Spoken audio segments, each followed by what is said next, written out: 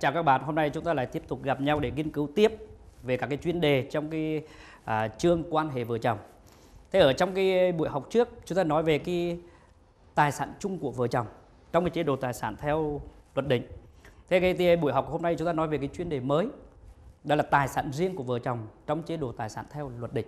À, thì ở tiết trước thì các bạn đã biết được tài sản là tài sản chung của vợ chồng và vợ chồng có cái nghĩa vụ và quyền như thế nào đối với khối tài sản chung đó rồi. À, thì hôm nay thì tôi sẽ trao đổi với các bạn về cái cảnh là những tài sản đó là tài sản riêng của vợ chồng và vợ chồng có cái quyền sở hữu đối với nó nó như thế nào. Thế vì cái chuyên đề này của chúng ta nói về các vấn đề liên quan đến tài sản riêng, cho nên à, tôi muốn là các bạn chúng ta là nắm được các cái tài sản nào theo luật là tài sản riêng của vợ chồng và trên cơ sở các bạn nắm được đó thì để các bạn có thể phân định được tài sản chung và tài sản riêng. À, cái ảnh thứ hai là các bạn biết được vợ chồng có cái quyền sở hữu đối với tài sản riêng của mình như thế nào bởi vì thực ra cái quyền sở hữu của vợ chồng đối với tài sản riêng của họ nó cũng là quyền sở hữu của cá nhân đối với tài sản riêng của mình mà pháp luật dân sự quy định thôi. Tuy nhiên thì cá nhân này họ lại tham gia vào quan hệ hôn nhân cho nên họ không mang tư cách của một cá nhân bình thường mà lúc này họ còn mang tư cách là gì ạ? Của một cá nhân là người vợ người chồng ở trong gia đình. Họ còn phải có cái trách nhiệm nghĩa vụ đối với cái gia đình của mình. Thế nên cũng có một số cái nét khác biệt. À, thế như vậy để các bạn nhận diện được nó thì trên cơ sở các bạn nắm được phân biệt được tài sản chung tài sản riêng quyền sở của vợ chồng đối với cái tài sản riêng của mình thì tôi cũng muốn là các bạn là có được một cái lượng kiến thức nhất định để có thể đánh giá giải quyết được các cái tình huống phát sinh ở trong cái thực tế đời thường thì đó là cái yêu cầu đặt ra khi chúng ta nghiên cứu cái chuyên đề tài sản riêng của vợ chồng trong chế độ tài sản theo luật định Thế về cái tài liệu tham khảo cũng giống như các cái chuyên đề trước, các bạn xem dùm cho tôi cái giáo trình luật hôn nhân gia đình trường Đại học Luật Thành phố Hồ Chí Minh. Về văn bản pháp luật À, thì các bạn xem dùm tôi điều 43, 44, 46 trong luật hôn nhân gia đình năm 2014. Điều 7, điều 11 của Nghị định 126 năm 2014. Tiếp theo các bạn xem thêm cái hiến pháp 2013 và Bộ luật dân sự năm 2015. Dạ. Thì đó là một số cái văn bản có liên quan đến cái chuyên đề này của chúng ta. Thế cụ thể cái chuyên đề này của chúng ta chúng ta nói về cái gì? Thì báo với các bạn trong lớp chúng ta nghiên cứu vào hai vấn đề. Vấn đề thứ nhất là chúng ta xác định với nhau xem theo luật tài sản riêng của vợ chồng gồm những loại tài sản nào? Đó là vấn đề nghiên cứu thứ nhất đặt ra. Vấn đề thứ hai chúng ta phải xác định được với nhau vợ chồng có quyền sở hữu đối với khối tài sản riêng đó của mình nó như thế nào. Thế như vậy là có hai cái vấn đề pháp lý đặt ra chúng ta cần phải giải quyết trong chuyên đề này. Thế trước khi chúng ta đi vào nghiên cứu cụ thể hai cái khía cạnh pháp lý đó à, tôi muốn hỏi các bạn trong lớp thế theo các bạn mọi tài sản hình thành trong thời kỳ hôn nhân đều là tài sản chung của vợ chồng. Thì nếu nói như thế tôi nói như thế nó đúng hay là sai và các bạn suy nghĩ trả lời giúp nào rồi mời bạn Dạ thầy, à, theo em thì à, mọi tài sản à, thì không phải là uh, trong trong thời kỳ hôn nhân đều là tài sản chung của vợ và chồng. Ví dụ như là nếu như mà uh, vợ hoặc chồng được hưởng thừa kế từ ba mẹ thì đó là tài sản riêng của vợ hoặc chồng. Rồi, cảm ơn em, mời em ngồi xuống. Thế đúng như thế các bạn ạ. Không phải là mọi tài sản hình thành trong thời kỳ hôn nhân đều là tài sản chung. À, ví dụ như bạn nói là đúng, ví dụ như mà được thừa kế riêng, được tặng cho riêng vì trong cái, cái chuyên đề trước mình nói rồi tài sản à, được tặng cho chung thừa kế chung trong thời kỳ hôn nhân thì nó mới là tài sản chung. Điều đó mình có thể ngược hiệu ngược lại là gì ạ? Nếu như không được tặng cho chung thừa kế chung thế thì nó không phải là tài sản chung. Hay nói cách khác là gì ạ? Tặng cho riêng thừa kế riêng thế nó sẽ là tài sản riêng. Ạ? Thế để biết được một cách đầy đủ cụ thể các tài sản nào là tài sản riêng của vợ chồng thì chúng ta đi vào nghiên cứu khía cạnh pháp lý thứ nhất. Các loại tài sản riêng của vợ chồng. Thì vấn đề này được quy định ở trong điều 43 của luật hôn nhân gia đình năm 2000 các bạn có luật các bạn dỡ ra chúng ta theo dõi ở trong cái điều 43 Thế theo điều 43 của luật hôn nhân gia đình năm 2000 thì có 6 cái loài tài sản được xác định là tài sản riêng của các bên vợ chồng. Thứ nhất là tài sản mà họ có được trước khi kết hôn, và trước khi trở thành vợ chồng đấy. Thứ hai là tài sản họ được tặng cho riêng thừa kế riêng trong thời kỳ hôn nhân.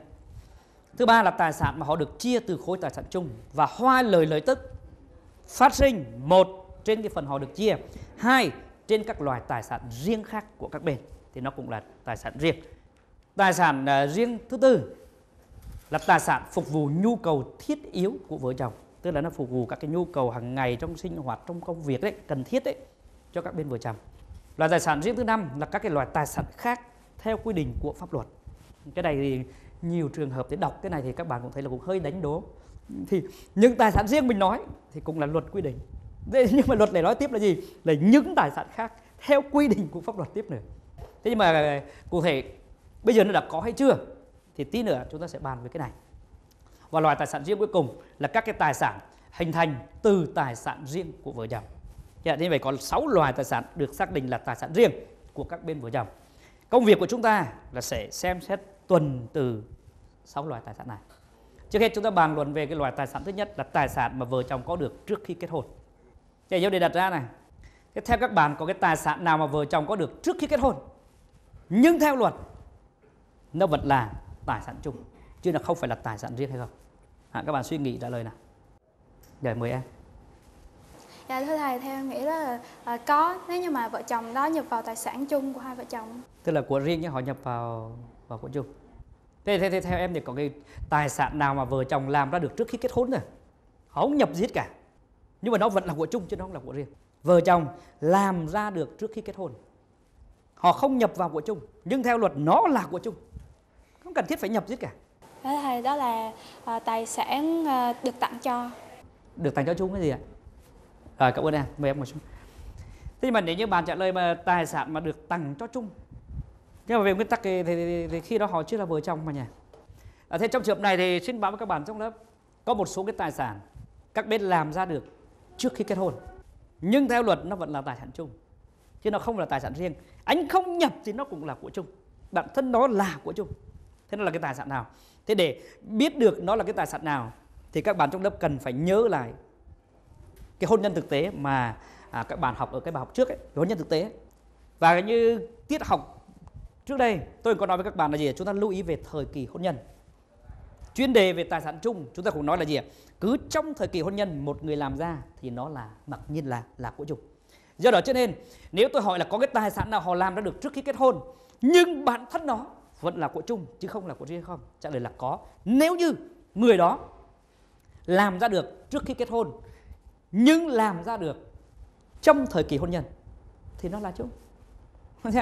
Anh làm ra được trước khi kết hôn, nhưng làm ra được nó trong thời kỳ hôn nhân, thì nó vẫn là của chung đây thì để nói cụ thể hơn để các bạn chúng ta phải đỡ suy nghĩ nó nhức đầu nè Được chưa? giả sử ông A và B sống với nhau vào năm 80 và đang chung sống với nhau như vợ chồng, thì theo luật, ông A và B được luật công nhận là là vợ chồng. Năm 80 họ sống với nhau, năm 2015 họ mới đăng ký kết hôn.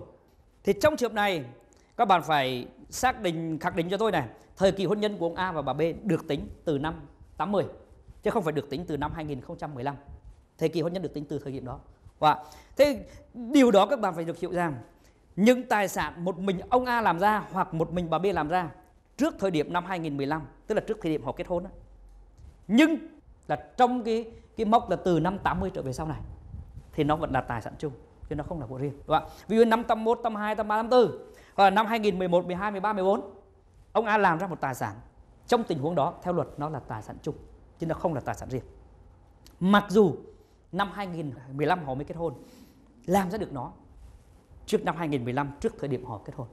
Thế lý do vì sao cái tài sản đó được xác định là tài sản chung? Bởi chúng ta nói với nhau rằng, trong thời kỳ hôn nhân, một người làm ra thì tài sản đó là tài sản chung.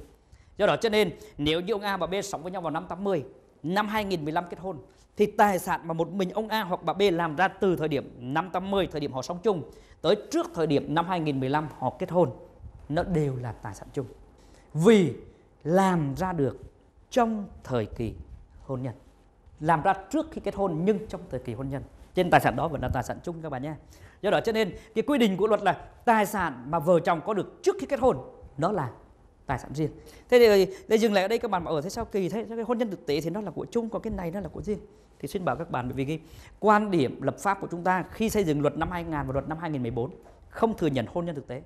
Có nghĩa anh muốn được công nhận là vợ chồng thì anh phải đi đăng ký kết hôn. Không đăng ký mà sống chung đều không được công nhận là vợ chồng. Các điều luật thể hiện rất rõ vấn đề đó. Còn cái hôn nhân thực tế mà sợ gì vẫn còn được ghi nhận và chúng ta đang nói với nhau là gì? Các bạn thấy là gì ạ? Nó xảy ra ở các giai đoạn trước khi có luật năm 2000 và luật năm 2014 cho nên bây giờ người ta ghi nhận nó để giải quyết cái hậu quả của nó, để bảo vệ quan hệ đó thôi. Chứ còn về mặt luật thực định, luật năm 2000 không thừa nhận hôn nhân thực tế. Luật năm 2014 không có hôn nhân thực tế, không thừa nhận vấn đề đó. Nó chỉ có những cái văn bản pháp luật hôn gia đình có liên quan thì nó mới ghi nhận vấn đề đó thôi. Còn đích thân cái cuốn luật hôn nhân gia đình năm 2000 luật hôn nhân gia đình năm 2014 các bạn dựa ra, không có một điều luật nào có công nhận sống chung, không đăng ký mà là vợ chồng hết cả. Vì chính lệ đó cho nên cái tư duy lập pháp khi nói đến tài sản riêng của vợ chồng trong luật năm 2000 và luật năm 2004 bây giờ là anh có trước khi kết hôn là của riêng của anh. Bởi vì anh có khi đó luật chưa công nhận anh là vợ chồng cho nên nó không phải là tài sản chung của vợ chồng. Vì trước khi anh anh kết hôn mới là vợ chồng. Trước khi kết hôn chưa là vợ chồng. Cho nên anh có thì nó là của riêng của anh. À, đấy. Đấy, thế nhưng mà cái cái tình huống tôi đưa ra để các bạn hiểu thêm đó là gì? Là cái, cái nghị quyết 35 nó có điều chỉnh cái hôn nhân thực tế nó ghi nhận. Và văn bản hướng dẫn luật 2014 bây giờ nó cũng tiếp tục ghi nhận vấn đề đó. Là chung sống trước ngày 3 tháng 1 năm 1987 thì trước ngày các cái luật này nó có hiệu lực lần mà thì làm sao, sao, sao, sao nó có ghi nhận vấn đề này được? Và chỉ ở văn bản hướng dẫn nó thì nó có điều chỉnh bao trùm đến vấn đề đó thôi. Thì nếu mà có cái tình huống đó do đó cho nên giả sử như sau này có một cái, cái câu nói như thế này. Mọi tài sản mà vợ hoặc chồng làm ra được trước khi kết hôn đều là tài sản riêng. Thì các bạn phải xác định chúng tôi là nó sai. Bởi vì nó sai khi áp dụng hôn nhân thực tế. Sai đối với các trường hợp được công nhận hôn nhân thực tế. Nhưng mà nó sẽ đúng đối với các trường hợp không được công nhận là hôn nhân thực tế và hoặc ngược lại là gì ạ nghĩa là nói là gì à, theo quy định của à, luật hôn nhân và gia đình năm 2014 mọi tài sản mà các bên làm ra được trước khi kết hôn đều là tài sản riêng thì nó là đúng quy định ở đây được chưa như vậy là khi người ta, các bạn xem xem người ta có loại trừ hôn nhân thực tế hay là cái câu hỏi đó của người ta nó bao trùm luôn cả hôn nhân thực tế để chúng ta trả lời nó đúng hay là nó sai được chưa? như vậy liên quan vấn đề này thì các bạn phải nắm thêm hôn nhân thực tế. Thế vừa rồi còn có những cái tình huống thế này người ta cũng lại hỏi về báo pháp luật này. À, có nhiều người gửi đơn đến hỏi thư đến hỏi này. Tôi vừa mua cái nhà, tiền do cha mẹ cho, đang trong thời gian làm thủ tục nhận nhà thì tôi làm đám cưới. Dạ, tức là mua rồi nhưng đang trong thời gian làm cái thủ tục thôi chứ còn ký hợp đồng rồi. Thì tôi làm đám cưới. Bây giờ tôi muốn giữ căn nhà này là tài sản riêng của mình. Xin hỏi theo quy định của pháp luật tôi có được cái quyền đó hay không và tôi phải làm gì? Thì có nhiều người dân người ta phân vân như chỗ đó. Bởi vì các bạn thấy là cái tư duy là anh phải có được trước khi kết hôn là của riêng có được trong thời kỳ hôn nhân là của chung thế hiểu như thế nào là có được? Có được, anh tính ở cái thời kỳ anh đi công chứng chứng thực cái đó. Hay là thời kỳ cái tài sản theo pháp luật là hoàn toàn thuộc sở hữu của anh? Hai vấn đề khác nhau các bạn nhé. Anh đi công chứng, theo quy định của pháp luật dân sự là gì ạ? Vừa mua bán nhà. Thế như thời điểm chuyển giao quyền sở hữu là thời điểm anh được công chứng chứng thực.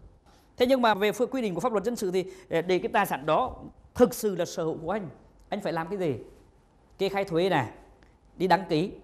Và để nó cập nhật cái tên của cái người mua đó vào trong cái giấy chứng nhận đó, thì lúc đó nó mới chính thức thuộc về anh chứ. Anh mới thực hiện được các cái giao dịch chứ. Chứ còn nếu như anh chỉ đi ra công chứng xong thôi, anh cầm nói đi vay ngân hàng người ta cho anh vay không? Không. Anh bán lại cho không? Không. Biết đó là gì ạ? Anh chưa đứng tên, đây là chủ sở hữu để trên cái tài sản. Yeah. đấy, thì nó có vấn đề đặt ra là, thế cái tài sản có được, thế hiểu như thế nào là có được? Có được là thời điểm anh xác lập cái giao dịch hay là cái thời điểm cái tài sản đó là hoàn toàn thuộc sở hữu của anh một cách đầy đủ luôn rồi. Thì báo các bạn trong lớp về trước. Đây thì có nhiều quan điểm khác nhau tranh cãi với cái này. Có người bảo là hiểu ở góc độ có được là cái như thời điểm là nó chuyển giao cái quyền sở hữu thôi. Còn những cái vấn đề mà đăng ký này kia đó là nó thuộc về cái thủ tục hành chính. À, chứ anh không bắt bẻ cái đó. Nhưng có quan điểm cho rằng là gì? Hiệu từ có được ở đây là cái thời điểm là toàn bộ cái tài sản đó nó phải thuộc quyền sở hữu đầy đủ của anh thì trước đây ở trong cái trường đại học uh, Cần Thơ ở trong cái giáo trình luật hôn nhân gia đình của phó giáo sư tiến sĩ Nguyễn Ngọc Điền ấy, thì cũng theo cái lối tư duy thứ hai có nghĩa là tôi không cần biết. Anh mua bằng của riêng hay anh mua bằng của chung. Cứ miễn là anh nhận được cái tài sản đó tức là giấy chứng nhận quyền sở hữu cái tài sản đó có được thời điểm nào để tôi tính. Nếu anh mua được trước đó hoặc anh mua được trước đó trước khi cưới nhưng sau khi cưới anh mới làm xong giấy chứng nhận quyền sở hữu. Lúc đó nó mới ghi tên của anh vào. Thì, thì, thì, thì tiến sĩ điền cho là gì? Tài sản đó được xem như là có được trong thời kỳ hôn nhân và nó là của chung rồi. À, thì trước đây có quan điểm như thế. Và sau này tôi có gặp lại thì, thì phó giáo sư tiến sĩ nguyễn ngọc điền bảo là cái như ngày xưa thì tôi nói thế bây giờ tôi có sửa nó rồi. À, Còn sửa cụ thể như thế nào thì tôi cũng chưa um, xem các cái tài liệu sau này để xem có sửa hay không. Thì về tư duy tôi thì tôi cho là không phải hiểu như thế được. Anh phải dựa vào cái thời điểm người ta giao dịch. Và cái dựa vào cái gì ạ? Quan trọng nhất là gì ạ? Cái nguồn gốc của cái tài sản. Cho chính là đó trên trong cái tình huống này nếu như mà bố mẹ cô này cho cô này cái nhà thì nguồn gốc là gì ạ? Là cô này được tặng cho riêng thì nó phải là tài sản riêng của cô này. Cho dù sau khi kết hôn cô này mới làm thủ tục giấy tờ thì nó vẫn là của riêng này, cô này. À, nó phải là của riêng cô này. Cho nên nếu như cô ta hỏi như thế thì tôi sẽ trả lời cô ta là gì? Trong thời gian cô làm thủ tục thôi nếu bố mẹ cô đã ký hợp đồng tặng cho cô trước khi cô lập gia đình thậm chí khi đã lập gia đình rồi nhưng mà tặng cho riêng thì nó vẫn là của riêng mà. Nó là của riêng mà. À, đâu chứ ạ? À? nên trong tình huống này thì cái việc làm thủ tục đó nó không ảnh hưởng đến cái quyền sở hữu đối với cái tài sản đó của cô. Hay nói cách khác nó là, là của riêng cô. Đấy nên là để các bạn hình dung là có trước khi kết hôn. Rồi chúng ta nói sang cái nhóm tài sản riêng thứ hai là tài sản được tặng cho riêng được thừa kế riêng. Thì nhóm thứ hai này thì vừa rồi cũng có nhiều người người ta băn khoăn như thế này. Tôi được hưởng thừa kế một phần hai căn nhà do cha mẹ tôi để lại.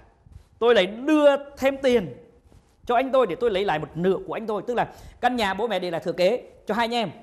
Thì cái cô này cô được một nửa. Là thừa kế theo luật một nửa thế nửa còn lại theo lẽ thường thì của người anh thì phải đưa cho người anh. Bây giờ cô này cô bỏ tiền ra, cô mua luôn cái nửa của người anh luôn. Thế bây giờ cô đi làm thủ tục giấy tờ, thì cơ quan nhà nước có thẩm quyền bảo là gì? Cái tài sản này nó là của chung, cho nên phải kê khai cả hai vợ chồng vào. Còn cô này cô tư duy theo cái lối là gì? Là của riêng tôi thì làm sao mà để chồng tôi vào được? Nếu như thế thì vô hình dung nó trở thành của chung là không được. Chứ bây giờ cô hỏi là gì? Là bây giờ chính quyền yêu cầu phải, khi tôi đi đăng ký cái quyền sử dụng của cái tài sản này chính quyền yêu cầu phải ghi tên cả chồng tôi vào. Đúng hay không đúng? Thì trong cái tình huống cô ta hỏi này thì các bạn trong lớp phải lưu ý này, nó có hai cái loại tài sản. Loại thứ nhất là một phần hai cái căn nhà mà cô đã được thừa kế. Thì cái này là thừa kế riêng. Mặc nhiên, nó là của riêng cô này. Nhưng mà một phần hai căn nhà còn lại mà cô này mua từ anh cô này, thì các bạn phải tư duy, nếu cô này cho rằng của riêng, cô phải chứng minh tôi phải bỏ tiền riêng ra mua phải chứng minh được thì nó phải là bỏ tiền riêng ra mua. Còn cô ta không chứng minh được, thì một phần hai căn nhà này phải được xem là của chung bởi vì có được trong thời kỳ hôn nhân. Chính vì lẽ đó cho nên nếu cô ta hỏi như thế và để trả lời cho cô ta, thì mình phải xác định là gì ạ? Một phần hai căn nhà cô được thừa kế, mặc nhiên là của riêng cô rồi. Nhưng một nửa còn lại là vì cô bỏ tiền ra cô mua trong thời kỳ hôn nhân. Thì bây giờ cô phải chứng minh là cái tiền cô bỏ ra đó là tiền riêng của cô, thì mới là của riêng cô. Còn nếu như cô không chứng minh được là cái tiền cô bỏ ra đó là tiền riêng của cô. Thì cái một phần hai cái tài sản mà cô mua lại của anh cô đó được xem như gì ạ? Có được trong thời kỳ hôn nhân, thì nó là của chung. Và nếu suy luận theo hương nó là của chung, thì khi cô đi làm đăng ký, người ta yêu cầu đứng tên hai người là đúng. Vì luật bảo rằng nhà ở thì phải đăng ký quyền sở hữu. Và khi đăng ký, phải ghi tên hai người. Thì nó yêu cầu như thế là nó đúng. Dạ. Đấy, chính lẽ đó cho nên để trả lời những cái tình huống như thế này, thì các bạn chúng ta phải xem xét về cái nguồn gốc tài sản xem nó như thế nào đây đó là cái nhóm tài sản riêng thứ hai. Chúng ta nói sang nhóm tài sản riêng thứ ba là tài sản mà vợ chồng được chia từ tài sản chung. Các bạn lưu ý chúng tôi là cộng thêm này. Hoa lời lợi tức. Một là phát sinh trên cái phần đã được chia đó. Hai là phát sinh trên các loài tài sản riêng khác. Thì bây giờ nó trở thành của riêng. Thế ở cái cái, cái chuyên đề trước mình nói là gì ạ? Trong thời kỳ hôn nhân hoa lời lợi tức phát sinh trên tài sản riêng là của chung. À, thì tôi có nói các bạn trong lớp lưu ý là gì ạ? Mình để xác định chung hay riêng các bạn phải xem xem họ đã chia tài sản chung, hay chưa? Và thì trong tình huống này luật nói rất rõ. Nếu anh đã chia tài sản chung rồi, thì bây giờ hoa lời lợi tức phát sinh trên phần tài sản anh được chia là của riêng. Và trên tất cả những tài sản riêng khác của anh, bây giờ nó là của riêng anh, nó không còn là của chung nữa. Dạ. Đấy tôi ví dụ cái này để minh họa cái ví dụ này để các bạn trong lớp theo dõi cho dễ này. Anh A và chị B là vợ chồng, họ có khối tài sản chung là 3 tỷ. Năm 2016 họ thỏa thuận chia cái khối tài sản này. Anh A bảo là thôi, anh lấy 1 tỷ cho em 2 tỷ. Và họ đã thỏa thuận được như thế và phân chia như thế. Anh A dùng 1 tỷ của mình mua một cái vườn cây ăn trái. Mỗi tháng thu được 10 triệu đồng cái tiền bán trái cây. Cô B này dùng 2 tỷ của mình gửi tiết kiệm và mỗi tháng lãi suất được 12 triệu đồng. Thì trong tình huống này, theo luật, cái gốc 3 tỷ nó là của chung nhưng bây giờ các bên đã chia rồi. Thì khi anh chia, anh A lấy 1 tỷ, thì 1 tỷ này trở thành của riêng anh A. 2 tỷ cô B được chia trở thành của riêng cô B. Dạ. đó là phần các bên được chia từ của chung trở thành của riêng. Khi anh A được chia 1 tỷ, anh ta đi trồng cây ăn trái, tiền bán trái cây mỗi tháng thu được 10 triệu đồng. Thì cái này được xem như gì ạ? Hoa lời lợi tức phát sinh trên phần tài sản anh A được chia, nó trở thành của riêng anh A. Ngược lại, cô B cầm 2 tỷ đồng đi gửi tiết kiệm và lãi suất một tháng 12 triệu đồng. 12 triệu đồng lãi suất có được này được xem như là hoa lời lợi tức phát sinh trên phần cô B được chia và nó cũng chuyển hóa thành tài sản riêng của cô B. Thì đó là những cái tài sản này được xác định là là của riêng của bể Thế dừng lại ở chỗ này thì các bạn bắt đầu mới tư duy giúp tôi một vấn đề này. Từ cái tình huống từ cái ví dụ mà tôi đưa ra đấy, phần các bên được chia là của riêng, hoa lời lợi tức phát sinh trở thành của riêng. Và thứ hai là các bạn nhớ về cái cái à, chia tài sản chung của vợ chồng trong thời kỳ hôn nhân thì các bạn có bình luận gì về cái quy định này của luật không nào có bình luận gì về cái quy định của luật là khi anh anh một là anh có quyền chia này thứ hai khi anh chia phần các bên được chia là của riêng hoa lời lời tức trên phần được chia là của riêng à, các bạn trong lớp có cái bình luận gì về quy định này của luật không được mời em Em thưa thầy là cái quy định này của luật là em thấy là rất là hợp lý ạ. Tại vì tôn trọng và bảo đảm được các quyền định đoạt cho các ờ, đồng sở hữu và là vật chất đối với lại ờ, cái tài sản của họ ạ. Thế bạn vừa trả lời là cái quy định này là hợp lý. Đúng như thế các bạn nếu như các bạn trong lớp mà đánh giá đó, xem xét kỹ cái quy định nó rất hợp lý. Mặc dù là trong thực tế mà ngày xưa tôi đi giảng rất nhiều lớp, rất nhiều bạn bảo này này đang là vợ chồng thì tự nhiên thì mang tài sản rất là chia. Luật quy định cho thế thôi chứ còn mấy ai mà đã là chia thì chắc chắn là phải mâu thuẫn, phải bất đồng lắm rồi người ta mới chia. Chứ còn sống bình thường thì ai chia làm cái gì? Thì thường rất nhiều anh chị học viên trong lớp tư duy theo cái hướng đó và tôi nghĩ là chắc là cũng nhiều người dân mình khi à, xem cái quy định này của luật thì cũng tư duy theo hướng đó. Thế nhưng mà bảo với các bạn trong lớp trong cái đời sống vợ chồng trong rất nhiều trường hợp cần thiết phải có cái phân chia tài sản. Lý do là gì ạ? Là quy định của luật đúng như bạn nói nó tôn trọng cái quyền định đoạt của người ta. Tài sản của người ta phân chia thế nào người ta có quyền đó. Thứ hai là gì ạ? Là đảm bảo cái quyền được cho các cái chủ thể được độc lập tham gia vào các cái quan hệ xã hội tham gia các cái công việc kinh doanh. Bởi vì ví dụ như bây giờ mà cái khối tài sản chung tôi muốn đầu tư kinh doanh vợ tôi không đồng ý, thì về nguyên tắc tôi không làm được. Thì trong trường hợp này, luật cho tôi cái giải pháp là gì ạ? Tôi đề nghị vợ tôi chia tài sản để tôi lấy phần của tôi tôi thực hiện cái đầu tư kinh doanh theo ý thích của tôi. Như vậy nó đảm bảo được cái quyền của tôi, được độc lập tham gia vào các cái quan hệ xã hội, được độc lập để để là kinh doanh, không phải lệ thuộc vào ý chí của vợ tôi. Đúng không? nó là hợp lý. Và quy định này nó hướng đến cái vấn đề là gì? Nó hạn chế các cái trường hợp ly hôn. Bởi lẽ nếu như mà à, luật không cho phân chia, thì trong nhiều trường hợp để thực hiện cái quyền tự do kinh doanh để chi trả nợ, vân vân, thì họ buộc phải.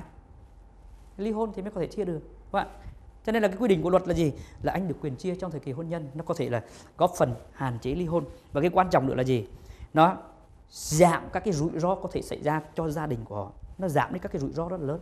Bây giờ báo với các bạn trong lớp, trong cái làm ăn mà, trong làm ăn kinh doanh, nhiều trường hợp cái rủi ro nó rất là lớn. Ví dụ như ở vùng miền tây của chúng ta mà có nhiều trường hợp người ta đi thuê đất ta nuôi cá, nuôi tôm ấy.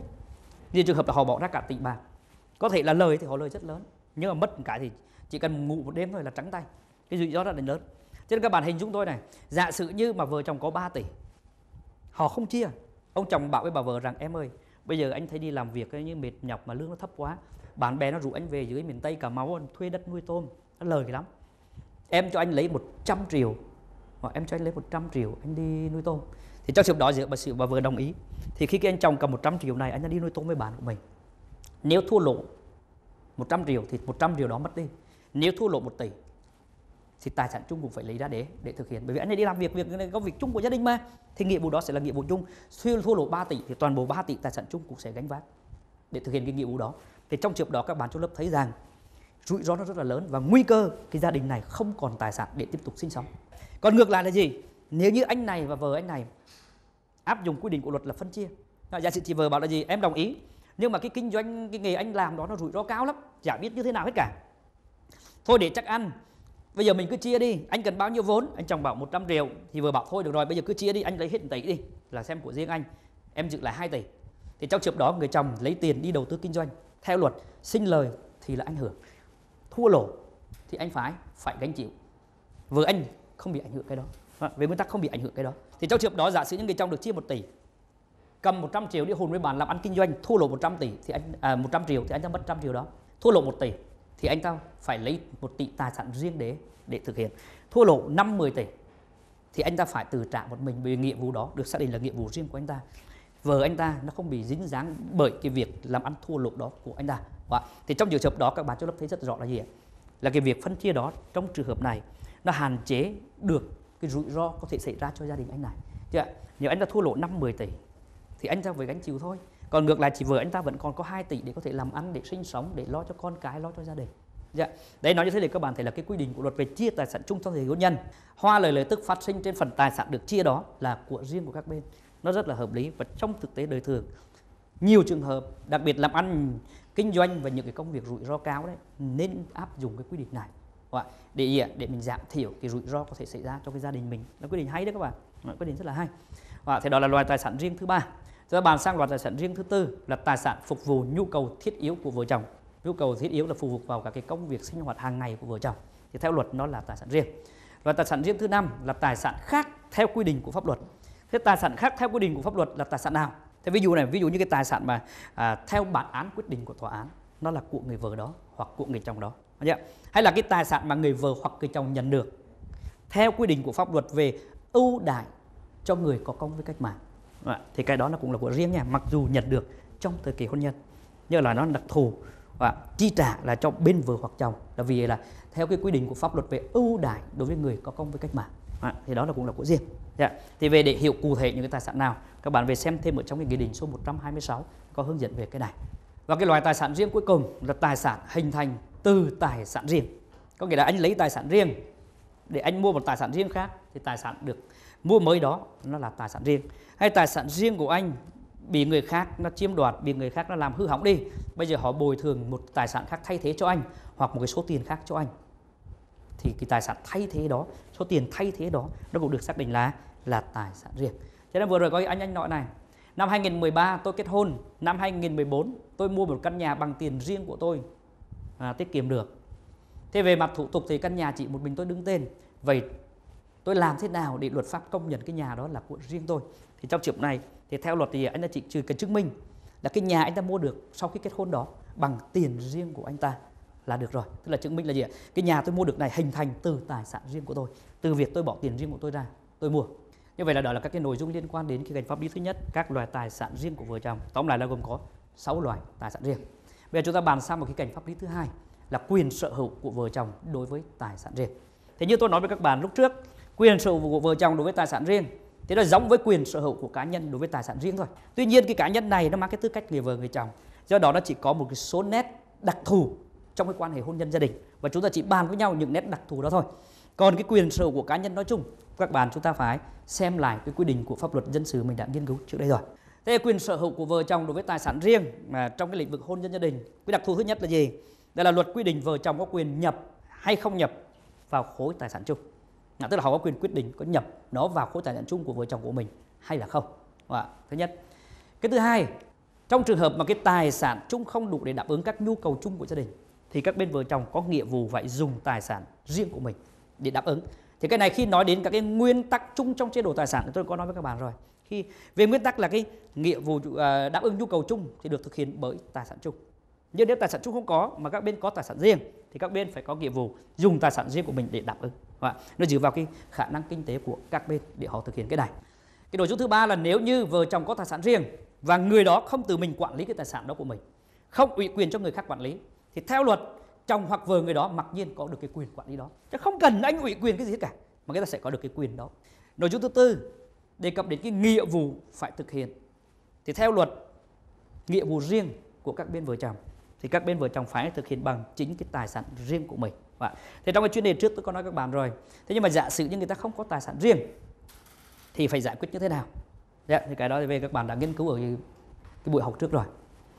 Và một cái khía cạnh pháp lý tiếp theo là luật mới nói như thế này.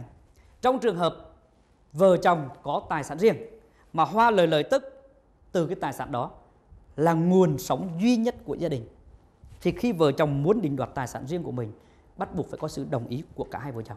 Tôi ví dụ này này ví dụ như bây giờ cái anh anh lấy vợ anh có tài sản riêng là một chiếc xe tải hoặc một chiếc xe tải dùng để, để chở hàng chở hóa.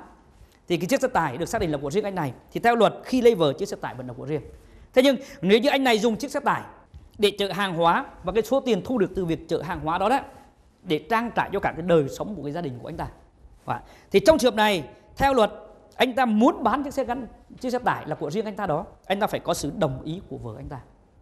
Bởi vì sao bởi vì nếu như để anh ta từ một mình đình đoạt như thế nó sẽ xâm phạm đến cái quyền lợi ở trong cái gia đình cái lợi ích chung của gia đình. Cho nên luật bắt buộc phải có sự đồng ý của vợ hoặc của chồng người đó. Và, và chỉ cái giải pháp nếu như họ thực hiện mà không có sự đồng ý của người còn lại thì nó như thế nào? Thì nó cũng giống như cái giải pháp vợ chồng đình đoạt tài sản chung theo luật phải có sự đồng ý hai người, nhưng thiếu ý kiến của một người thì nó như thế nào? Thì cái giải pháp trong cái tình huống này nó được xử lý giống như thế. Có nghĩa là anh định đoạt tài sản riêng của anh, nhưng tài sản đó là nguồn sống duy nhất của gia đình anh mà không hỏi ý kiến người kia. Người kia có quyền yêu cầu tòa án tuyên bố cái giao dịch đó vô hiệu và giải quyết hậu quả của giao dịch vô hiệu theo quy định của pháp luật dân sự.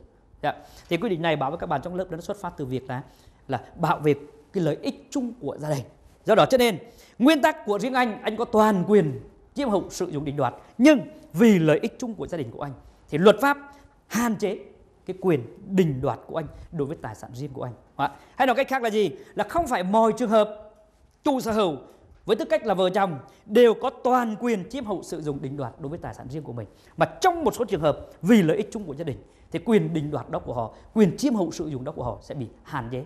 Cụ thể trong trường hợp này là gì ạ? Lệ thuộc bởi ý chí của vợ hoặc chồng. Nếu như cái chị vợ chỉ đồng ý thì lại dĩ nhiên là là không thực hiện được.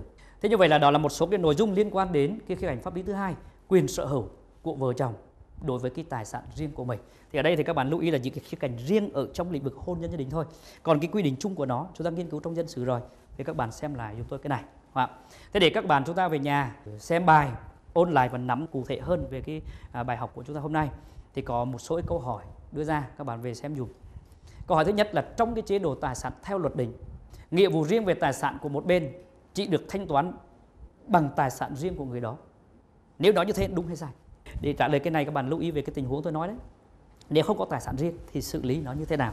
Để câu hỏi thứ hai là những điểm tiến bộ về chế định tài sản riêng của vợ chồng trong luật hôn nhân gia đình năm 2014.